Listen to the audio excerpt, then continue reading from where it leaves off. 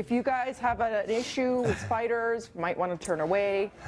So this is our Oh, friend Sting. yes. He's one of the largest scorpions in the world, known as a uh, emperor scorpion. Okay. And Is he like? Does he have like poisonous things in him right he now? He has a venomous stinger, um, similar to what a bee has.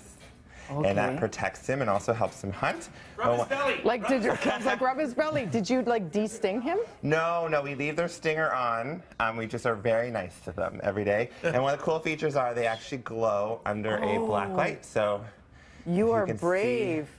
Yes. there. Okay.